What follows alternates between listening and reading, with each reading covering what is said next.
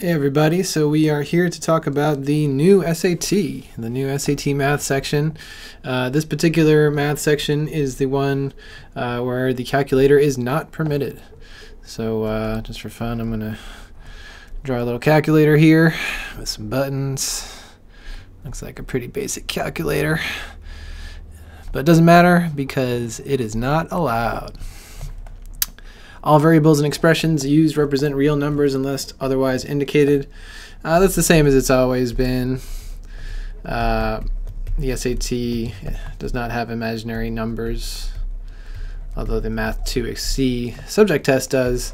The SAT itself does not.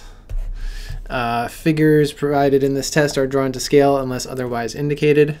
So unless they say it's not drawn to scale, then it is um, kind of like a no right turn on red sign.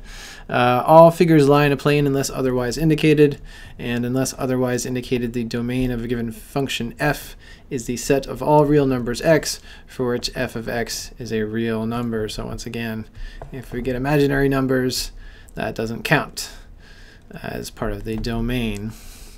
And then uh, here they give you some geometrical formulas, uh, as the SAT always has done. So we've got the area and circumference of a circle, area of a rectangle, area of a triangle, uh, Pythagorean theorem, your special right triangle ratios, which are nice because that way uh, you only need to know one side of a right triangle to determine the other two sides. Normally you need at least two sides to determine the third, as through the Pythagorean theorem.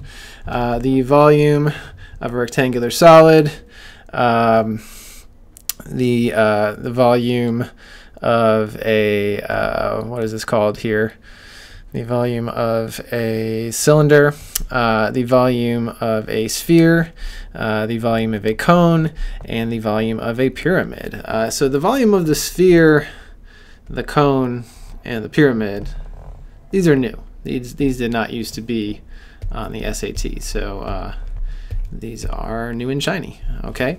Uh, and then also here, the number of degrees of arc in a circle is 360. The number of radians of arc in a circle is 2 pi. The sum of the measures of degrees of the angles of a triangle is 180. Uh, this one here, this second one, is the only new one from the old test.